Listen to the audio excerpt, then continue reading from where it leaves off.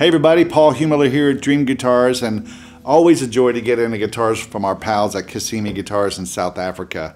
Um, the two gentlemen at Casimi worked a lot with Mark Maingard years ago. You may have seen many of his great guitars on our website over the years. Mark is now retired, um, but the Casimi folks are taking over the lineage of that sort of style of build and then of course adding their a whole nother level.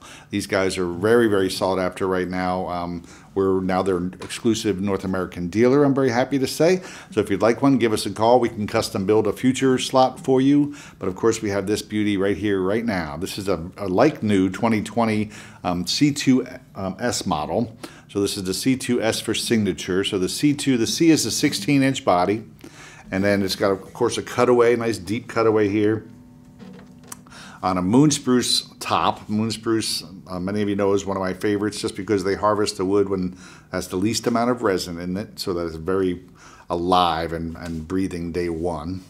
Um, lots of other details on this fine guitar. So if you look closely, there's um, dual bevels, top and back, um, so very comfortable to hold this guitar. And then they've got their signature bridge here, which is an open design. And There's even a cool little magnetic door here to get at the strings for changing the strings. Thought I'd show you that.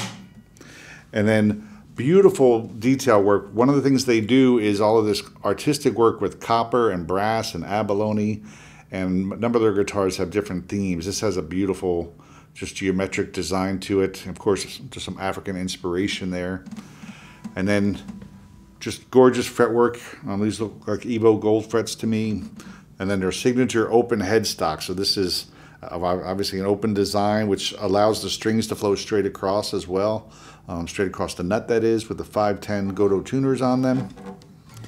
You've got a back plate on the mahogany neck, and then really great Brazilian, I'm sorry, African blackwood on this one. I almost said Brazilian blackwood. African blackwood. Um, Again, being from South Africa, they have access to some great wood, and African blackwood becoming super popular. It's actually more rare in, in, in, terms of being harder to get than Brazilian rosewood these days, but it sounds lovely and has a lot of the same depth of tone that I hear in Brazilian, but well, maybe just a little bit more low mid range is sort of what my ear always picks up on. And that gives a sort of a really beautiful characteristic to the sound that I like a lot. So, um, has a lot of what Brazilian has, but different. So it's a it's another great choice for all of us living in this golden age of lutherie. Um, uh, there's also a sound port here. I almost skipped over, but there's a sound port as well. And again, here you can see the dual bevels front and back.